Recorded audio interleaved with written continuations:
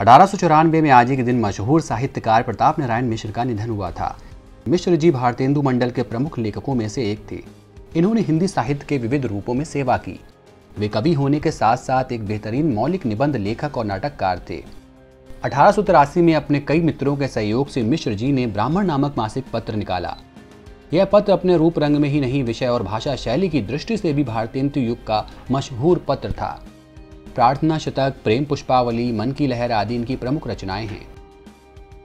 1901 में आज ही के दिन भारतीय जनसंघ के संस्थापक श्यामा प्रसाद मुखर्जी का जन्म हुआ था। डॉक्टर मुखर्जी 33 वर्ष की आयु में कलकत्ता विश्वविद्यालय में विश्व के सबसे कम उम्र के कुलपति बनाए गए थे। पिता के निधन के बाद कलकत्ता उच्च न्यायालय में एडवोकेट के रूप में अपना नाम दर्ज कराया। 1926 में लिंकन सिंह में अध्ययन करने के लिए मुखर्जी इंग्लैंड चले गए और 1927 में बैरिस्टर बन गए।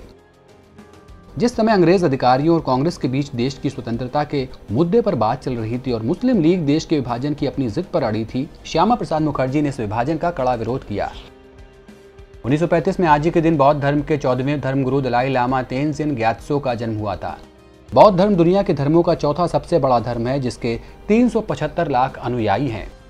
बौद्ध धर्म के धर्मगुरु को दलाई लामा कहा जाता है। तेन तेनजिन ग्यात्सो तिब्बत के राष्ट्राध्यक्ष और आध्यात्मिक गुरु हैं। उन्नीस सौ चौवन में तेंजिन ने चीन यात्रा पर शांति, समझौता और तिब्बत से सैनिकों की वापसी की बात को लेकर माओ जेडांग, डेंग, जियोपिंग जैसे कई चीनी नेताओं से बातचीत करने के लिए बीजिंग गए थे, लेकिन सम्मेलन असफल रहा। तिब्बत पर चीन के हमले के बाद दलाई लामा ने संयुक्त राष्ट्र से तिब्बत मुद्दे को सुलझाने की अपील की है। संयुक्त राष्ट्र महासभा द्वारा इस संबंध में उन्नीस उन्नीस और उन्नीस सौ पैंसठ में तीन प्रस्ताव पारित किए जा चुके हैं। उन्नीस सौ सतासी में तिब्बत की खराब स्थिति का शांतिपूर्ण हल तलाशने की दिशा में पहला कदम उठाते हुए दलाई लामा ने पाँच सूत्री शांति योजना प्रस्तुत की।